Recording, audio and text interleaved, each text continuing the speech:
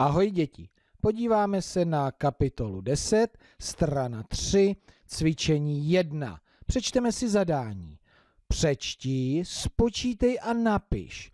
Utvoř otázku a odpověď. Jdeme číst první řádek. Emil vozil na sáňkách nula chlapců a deset dívek. Na co se zeptáme? Kolik dětí dohromady vozil Emil na sáňkách? Jak to spočítáme? Pomůže nám znázornění.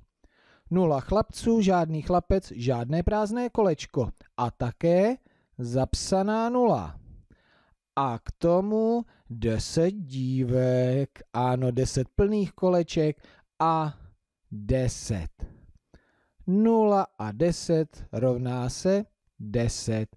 Odpovím, Emil vozil na sáňkách deset dětí. Co to asi bylo za sáňky? To je uvezl najednou? Nebo je vozil postupně? Hm, nevím, to tady napsané není, ale já jdu číst druhý řádek. David vozil na sáňkách jedno chlapce a devět dívek. Znázornění jedno prázdné kolečko a devět plných koleček. Příklad 1 plus 9 rovná se 1, 2, 3, 4, 5, 6, 7, 8, 9, 10. Aha, 10. Takže na otázku, kolik vozil na sáňkách dětí David, odpovídám, David vozil 10 dětí. Třetí řádek.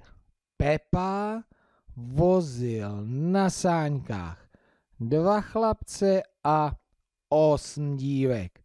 Dvě prázdná kolečka, osm plných. Příklad dvě plus osm rovná se 10, taky 10. Takže i tady mohu odpovědět na otázku, kolik vozil dětí Pepa.